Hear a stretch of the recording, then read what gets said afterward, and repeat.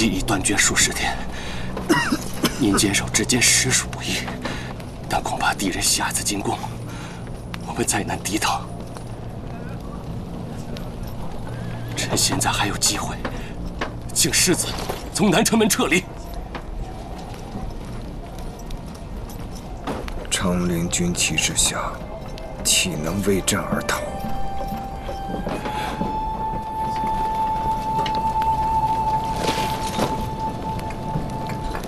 跟着防线固然重要，可您毕竟是长陵王府的世子啊！如有意外，老王爷他……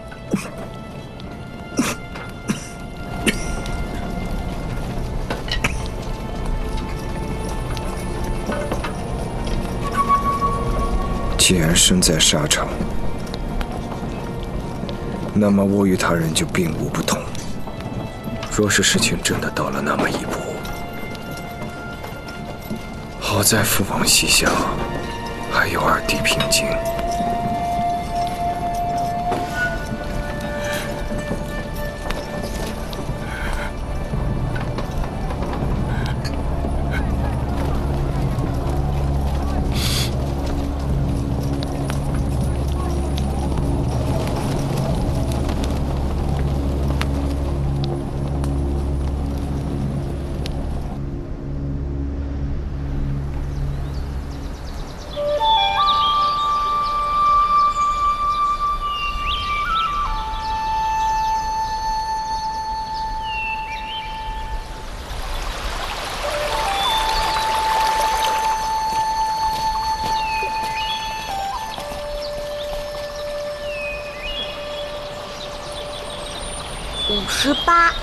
十九，六十，六十一，六十二，六十三，六十四，六十五，六十六，六十七，六十八，六十九，七十，七十一。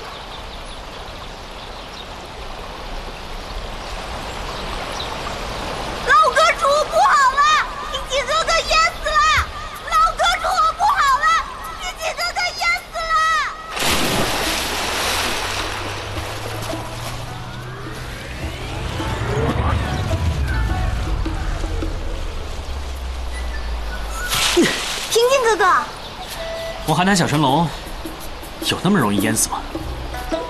平津哥哥，找到没有啊？来，看，哇！话说回来，平津哥哥，老阁主今天为什么要罚你到潭底摸寒金石啊？你不会又做错什么事儿了吧？我能做错什么事啊？不就是好心好意的提了个建议？我才不信呢！你能有什么好建议？就是告诉他，吃多了萝卜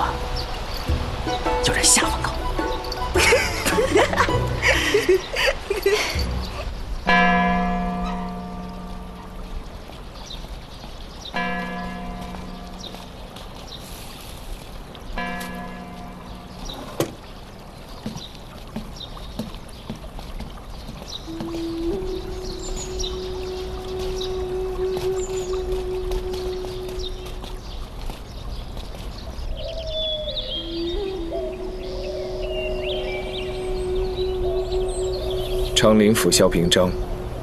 请随我来。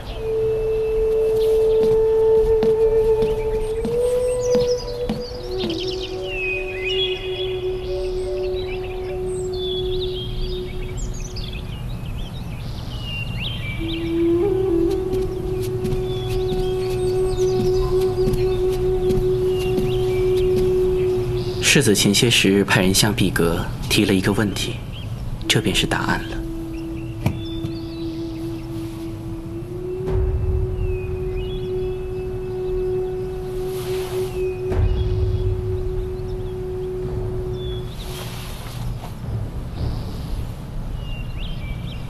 阁主真的愿意就这么把我想要的答案直接告诉我吗？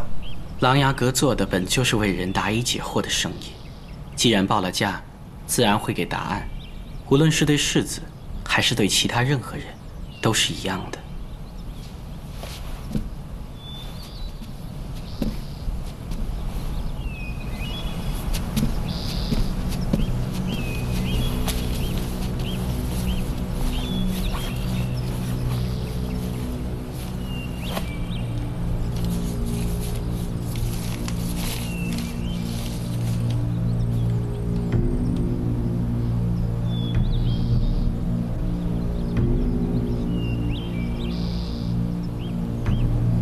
阁主的吩咐，已将长林世子想要的答案交给他了。徒儿有些不明白，就这样把所有的事情都告诉他，真的合适吗？他既然已经开始查问，迟早都会知道的。只是啊，在这个时候，这个时候，莫非他是觉得这北境，所以才特意绕道而来？相由心生，境随心转。北境一役，凶多吉少。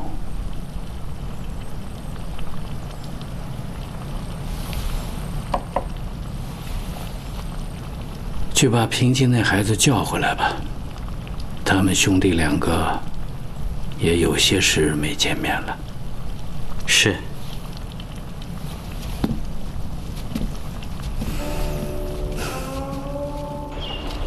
伐了驱魔晶石不算，还要采满三颗落地星。老阁主真的有这么生气吗？看在他一把年纪的份上，忍了吧。嗯。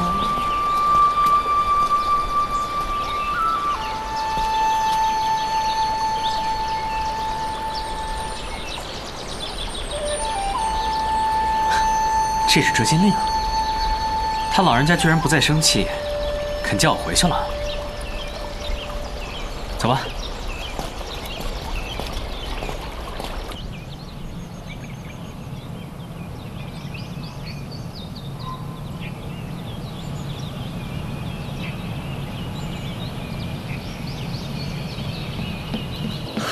大哥。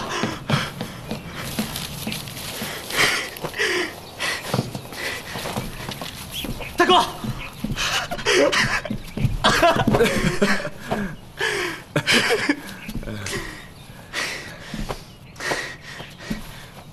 我以为老阁主又捉弄我呢，没想到你真来了。怎么，老阁主经常捉弄你啊？没事儿，我也总捉弄他。大哥，你这次来能住几天啊？我去给你收拾房间。哎，别忙，我马上就得走。你这不是刚来吗？父王判断，北境可能很快就会有一场大战，所以命我尽快赶到甘州安稳左路防线。我也是连夜快马加鞭，才省出来这半日的路程绕到琅琊阁的，当然不能久留。大哥，这么辛苦赶路，却连只住一晚都不肯，难道你就是为了赶回来看我这一眼？我也不知道是为什么，有一句话。总想在赶到北京之前，当面再和你说一说。大哥，你又想让我回去啊？连父王都答应我。父王同意你在狼牙山学本事，并不是说你就能当一个断了线的风筝，想怎么飞就怎么飞。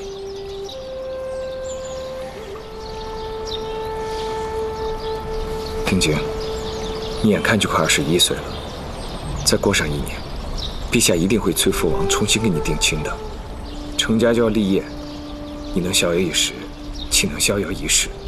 将来长陵王府的重担，长陵王府的重担，那不是还有大哥你吗？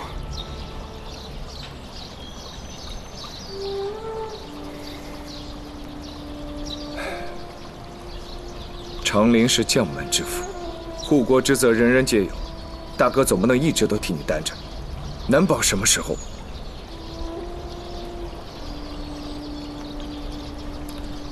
我的意思不说你也明白，自己在心里好好的想想吧。等这次北境平定之后，无论是什么情形，你都必须过回金陵去。大哥，北京这次的战况会很凶险吗？当然不会容易。不过父王跟我已经做了通盘的推演，胜算还是有的。我大哥一向战无不胜，这次肯定不会例外，对吧？哼！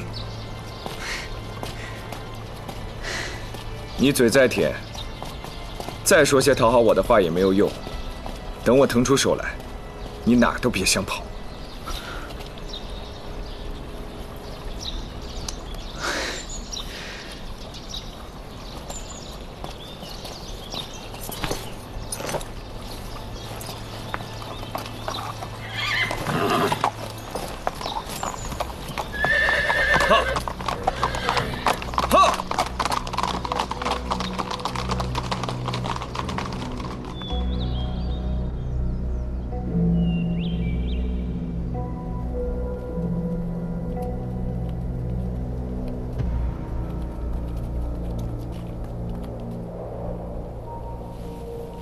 合这些战报来看，大禹在北京的行动确实有些不同于往常。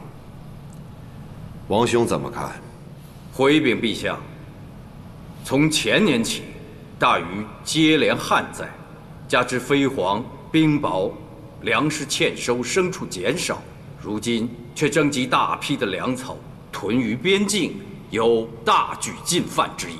臣以为，不可不早作筹谋。请陛下即令西境邢台向北移动，以作为北境的后援。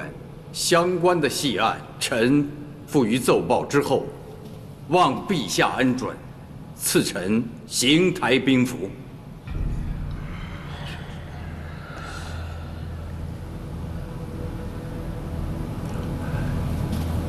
陛下，老王爷说的自然是在理，不过细想。这些征兆尚不明显，也只是臆测而已。更何况大禹自身内忧外患，朝局动荡，一点小动作不足为虑吧？大禹人素来狡诈，兵士更是不可循常规忖度。越是朝政不稳，民怨四起，越有可能穷兵黩武，嫁祸人心。中书大人不会不明白这个道理。烽烟未起，急调兵符。既然你已经派世子坐镇北境，想必大局并无大碍。难道不应该看看时局的发展再说吗？战局如同棋局，若等对手落子之后再行应对，便已是输了先机。即便如此，那长林的军备也应该足矣，不至于。诸卿不必多言了。北境的军阵之事，朕相信王兄的判断。传兵符。是。陛下谕传兵符。陛下谕传兵符。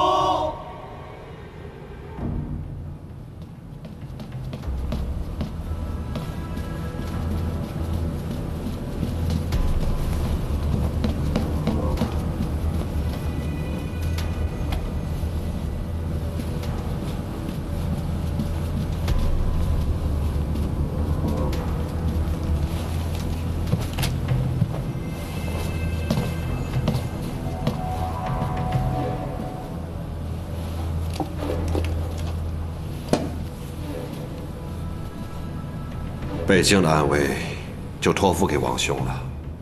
谢陛下。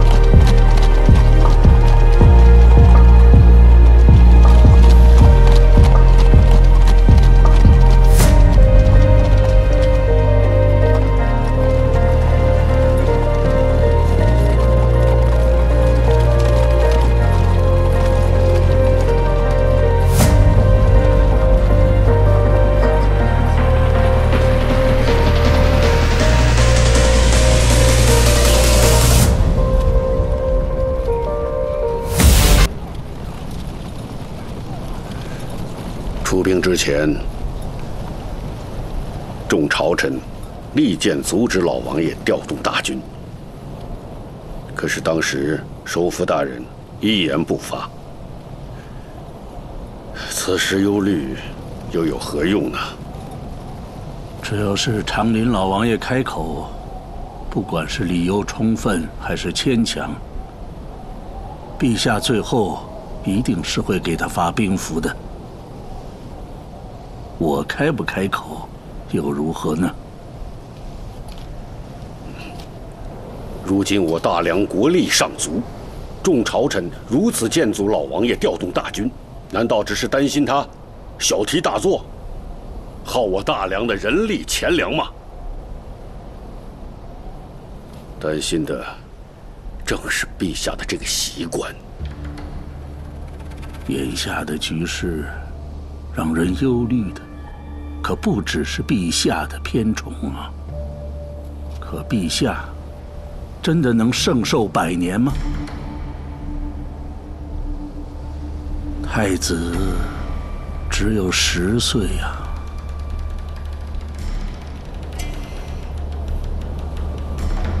微臣之中，定当替君主未雨绸缪。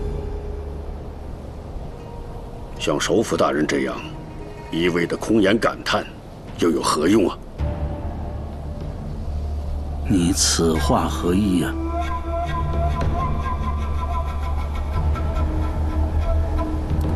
首辅大人应该清楚，此次调动大军的补给任务，陛下已经诏令。由我处理。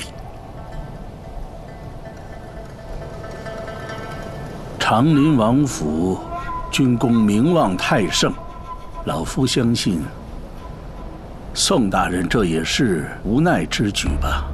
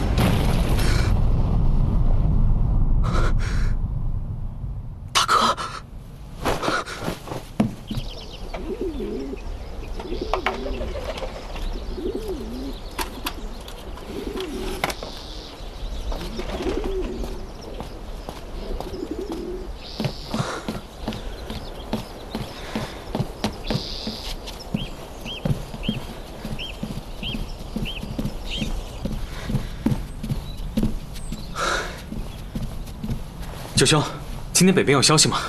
要多北边的，北燕的消息倒是有。要吗？你明明知道我问的是哪儿。此阁虽在红尘中，又在红尘外。琅琊之人旁观世间之事，如同看那溪涧流水，知他日夜奔流，却又由他日夜奔流。哎，我知道你是老阁主最得意的弟子，但你非要学他一样，老说这种抽风的话吗？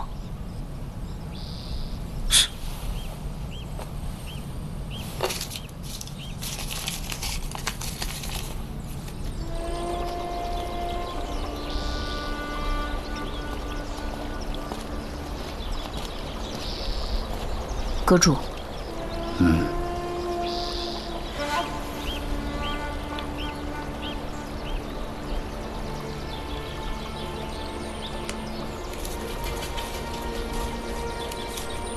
大同府，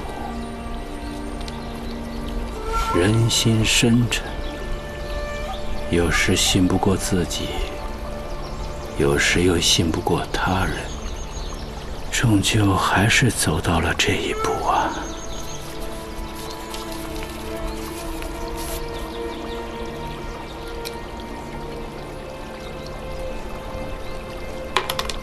送进去吧。是。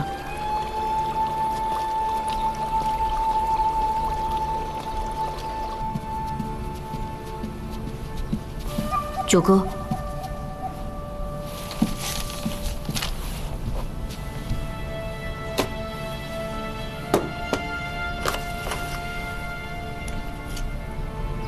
这个是不是被人看过了？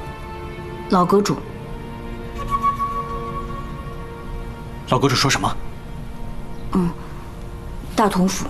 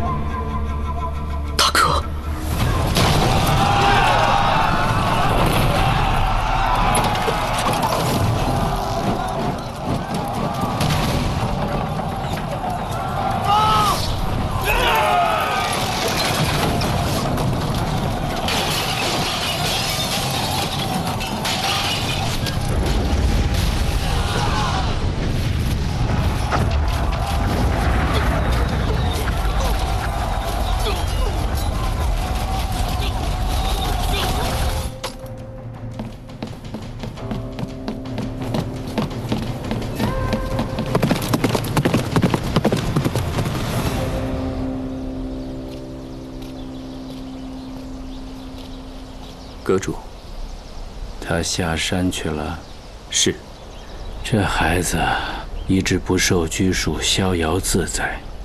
可只要在他心里还有牵挂，谁又真的能自由自在啊？平京此时才下山，待他赶到时，其实也做不了什么了吧？琅琊阁得到的这些消息，萧庭生在北境。只会知道的更快。论起军阵之才，他倒是有几分当年那个人的风采，想必反应也不会慢。现在的关键就在于萧平章能不能支撑到最后啊！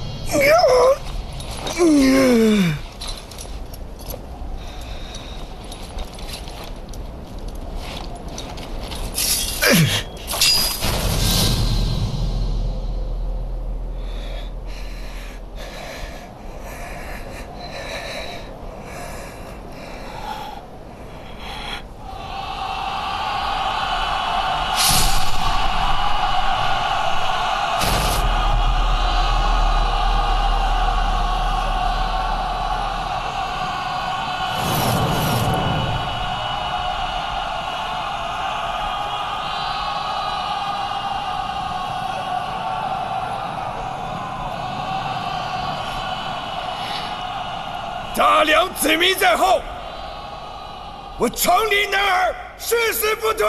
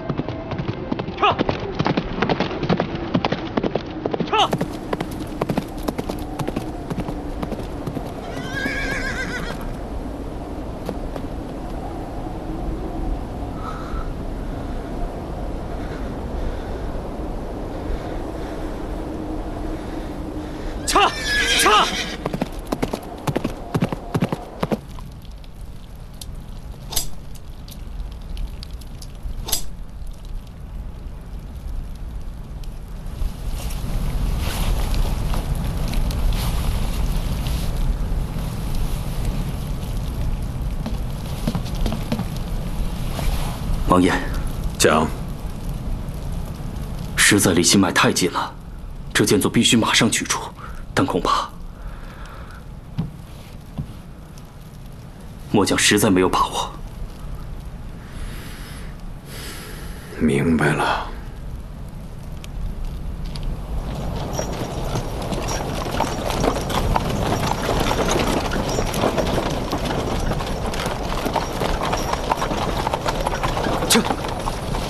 来两个人。好，好，好。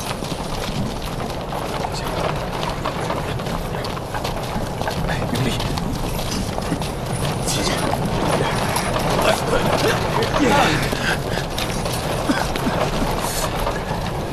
冬青，冬青！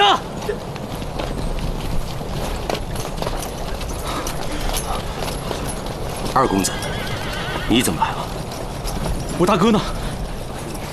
在府衙，有老王爷陪着。父王，嗯，父王怎么来了？冬青，我大哥到底怎么了？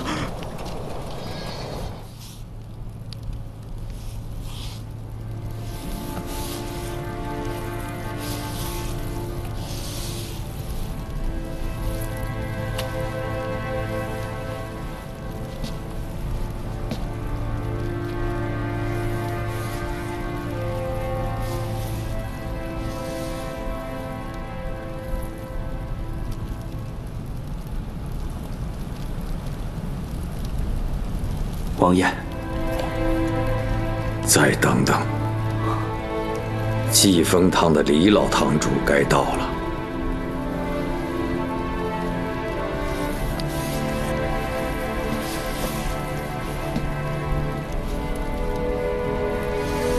王爷，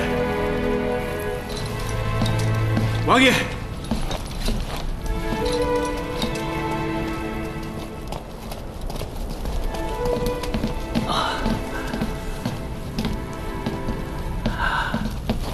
老王爷，这位是济丰堂堂主林夕姑娘。王爷，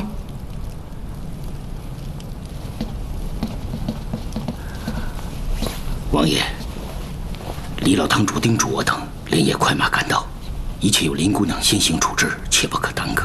她随后就到。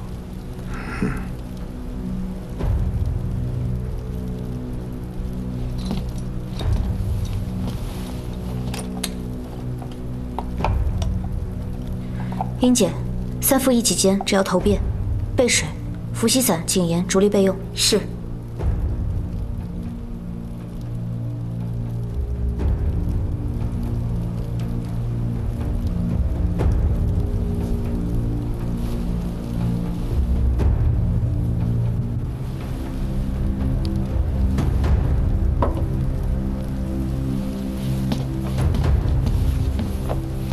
英姐，下针止血。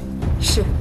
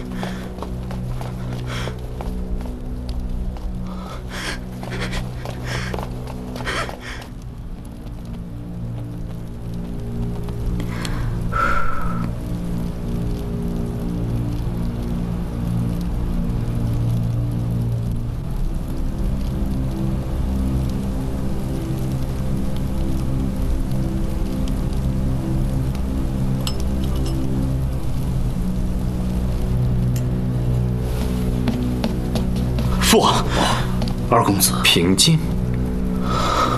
大大哥，英姐，拔剑。林姑娘，林姑娘，不是老夫我信不过你，只是拔剑。剑入骨下二寸余，虽离心脏甚近，但未伤及心肺，只在毫厘之间，实乃万幸。但这只是我的判断而已。无论怎样，当务之急是开刀取剑。最危险的是，剑阻取出时可能会伤及血脉。那样，这怎么行？我大哥这样的伤势，绝不可能交给一丫头来处理。就没有别的证据军医了吗？平静，林姑娘，世子的身体还能撑多久？世子目前尚属稳定，但已失血过多。王爷是想等师傅到了再行手术吗？不必，一切听林姑娘决断。父王，这可是大哥。就算我们做不到万无一失，也绝不能这么轻率。怎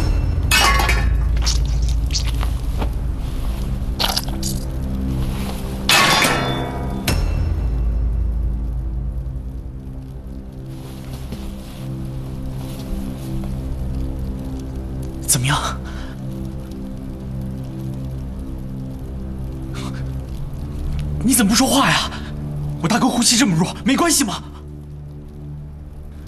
请王爷让他出去。你说什么？你让我出去？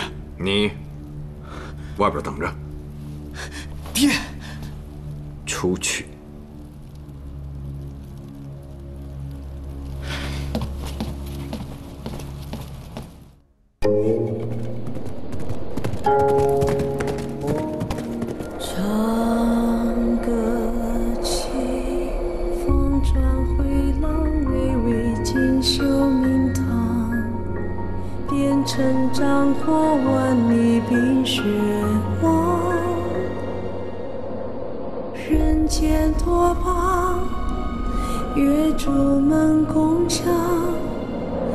谁家落群英江畔白首如霜。